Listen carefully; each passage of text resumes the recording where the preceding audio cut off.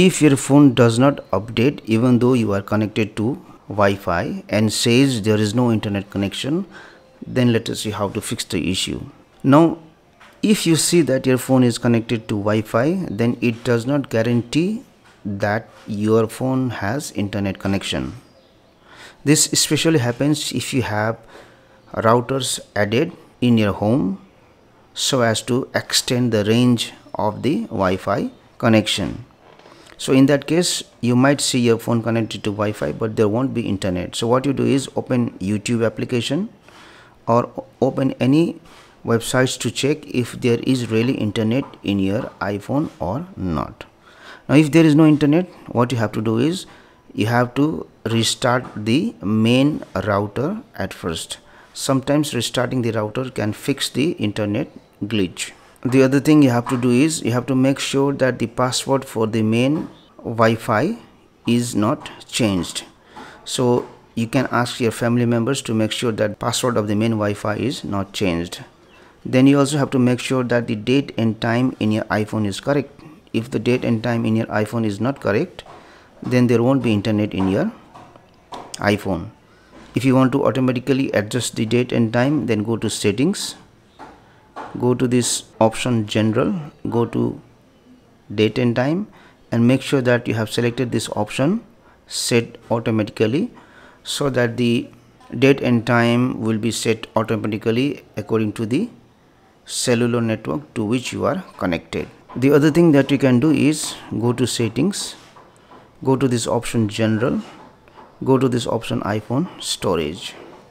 Just wait for a few seconds so that the items can be seen here. Now if you scroll down you will see list of applications that you have installed. Now in this list if you see that there is the older version of ios present here then you have to delete that iOS version. So right now I don't have but suppose if this is the one then what you will do is you will open it then you will delete. So delete any previous iOS version if it is present here. Now the other thing that you have to do is if you have connected to a VPN application in your iPhone then make sure to disable the VPN application. Especially if you are using a free VPN then you might be connected to the internet at first but later on there won't be internet in your phone. So disconnect your iphone from any vpn application. And last thing that you can do is you can go to settings go to this option general go to this option transfer or reset iphone. Go to reset. Select this option reset network settings. Enter the passcode. And what happens is this will delete all network settings returning them to the factory default. That means whichever Wi-Fi to which your iPhone is connected it will be deleted. And then you have to enter the password for the Wi-Fi again. Also might be the Bluetooth devices to which your phone is connected. It will be deleted and you might have to pair it again. So do all of these things and hopefully your phone should be updated to the latest version. And one more thing before you update your phone to the latest iOS version at first you have to make sure that your phone is compatible to the new iOS version.